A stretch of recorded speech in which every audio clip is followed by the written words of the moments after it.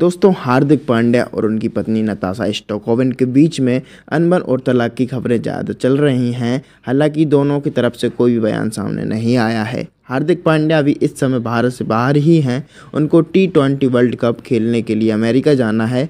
नताशा को दो दिन पहले ही किसी कैफ़े में देखा गया था। के सामने आया था नताशा को जब तलाक के लेकर सवाल किए गए तो उन्होंने कोई भी जवाब नहीं दिया। वह अपने दोस्त के साथ आई थी। उन्होंने हार्दिक के बारे में कोई भी बात नहीं की। इस बीच पांड्या और नताशा को लेकर एक बड़ी खबर सामने आ रही है। दोनों के रिश्तों को अहम और बड़ा खुलासा सामने आया है। किसी ने सोचा भी नहीं था कि पांड्या और नताशा का रिश्ता अब इतनी दूर निकल जाएगा और दोनों के बीच में काफ़ी मुटाव हो गया है। टाइम नाउ के अनुसार रिपोर्ट में बताया है हार्दिक और नताशा के बीच में करीब एक मित्र मिले थे, लेकिन हिसाब से दोनों के बीच में काफ़ी समय से चीज़ें खराब चल रही हैं। के बीच में कुछ भी अच्छा नहीं चल रहा है, इन दोनों में साथ में नहीं रह रहे हैं और दिक्कत हो रही है साथ में रहने में। आगे बताया कि नताशा और हार्दिक एक दूसरे से दूर चले गए हैं। ये बताया कि नताशा अब हार्दिक से दूर रहने लगी और वापस कब आएगी, ये भी नहीं बता सकते। गौरतलब की नताशा को आईपीएल के मैचों के दौरान भी नहीं देखा गया। हालाँकि तब किसी का ध्यान इस तरफ़ नहीं गया।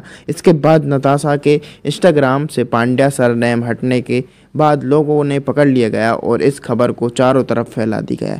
नताशा और हार्दिक ने पिछले साल ही पूरी तरह से रीति रिवाज से शादी की थी, लेकिन अब दोनों के बीच में चीज़ें खराब हो गई हैं और साल 2020 में इन दोनों ने पहली बार शादी की थी और उस समय कोरोना काल चल रहा था। किसी को कुछ पता नहीं था और अब यह इनका एक बेटा भी है।